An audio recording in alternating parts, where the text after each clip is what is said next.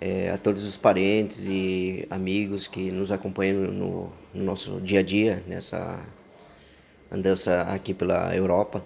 Hoje de manhã saímos de Berna né, em direção a Genebra e uma agenda aí super importante para nós. Aí.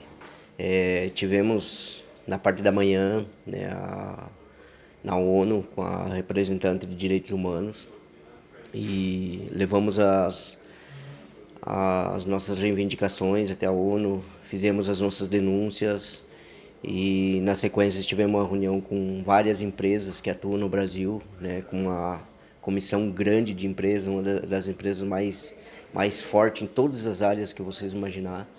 E lá eu tirei como aprendizado uma fala de, de um mais jovem deles lá, que eles falaram que é uma tendência aqui na Europa de rever toda essa maneira que se tem utilizado no Brasil de só explorar os recursos naturais, mas não dar nada em troca.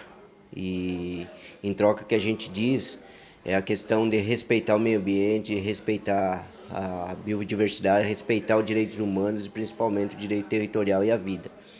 E uma importante também uma fala que foi que a maioria da juventude aqui da Europa votou este ano e a maioria dos parlamentares aqui são parlamentares de esquerda, parlamentares ligados ao Partido Verde, todos aqueles partidos que pensam na questão futura é, do planeta, questão aquecimento global e mudanças climáticas. Então foi super importante a gente ter ouvido aí de, dessa tendência da juventude aí europeia, né? E mais tarde foi na universidade, um evento organizado pelos universitários lá, né, por, por brasileiros que estudam na universidade.